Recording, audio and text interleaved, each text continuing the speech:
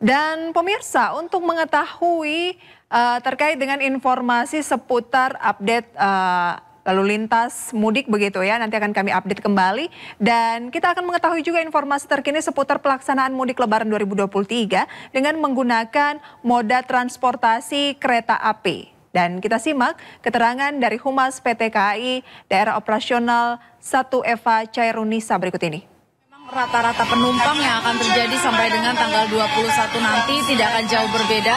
Hanya memang secara keseluruhan okupansi di tanggal 19 sampai dengan tanggal 21 itu sekitar uh, eh, 100%. Sudah mencapai 100%. Jadi bisa kita katakan bahwa hari ini untuk uh, perjalanan kereta api dari Daob 1 Jakarta mulai memasuki puncak mudik, puncak arus mudik dari tanggal 19 April sampai dengan tanggal 21 April nanti.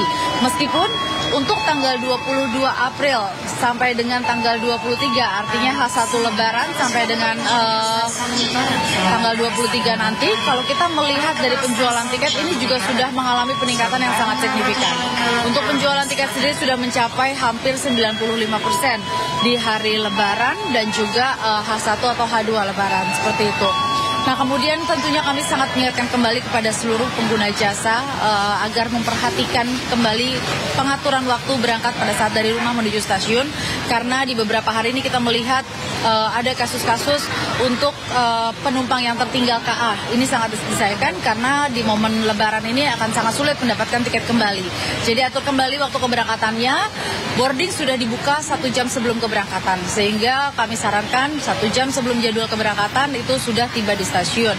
Dan kemudian juga untuk barang bawaan juga diperhatikan ada ukuran maksimal yakni uh, untuk beratnya maksimal 20 kg, kemudian ukuran maksimalnya 100 kali eh, uh, 70 kali 30 cm. Nah ini juga agar diperhatikan dan setiap akan melakukan boarding eh, naik KA ataupun akan turun dari KA perhatikan kembali seluruh barang bawaannya. Karena kalau kita melihat uh, dari sisi tingkat penemuan barang tertinggal itu cukup tinggi ya uh, sampai dengan saat ini.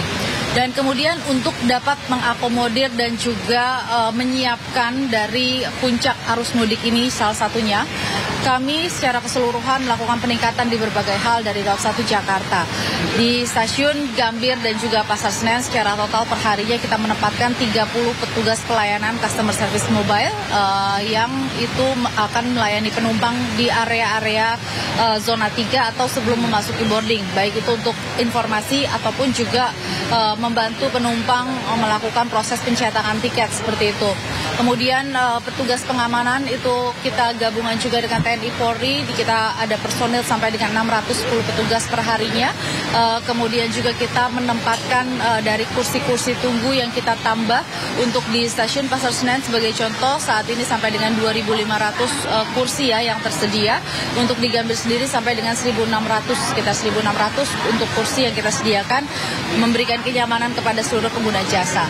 Nah kemudian di Gambir juga kita sudah menyediakan sekarang ada free water station jadi untuk uh, mengisi ulang air minum ya untuk penumpang secara gratis itu kita berikan baik itu di Gambir ataupun juga uh, di Pasar Senen. Pasar Senen mulai uh, besok ya sudah ada.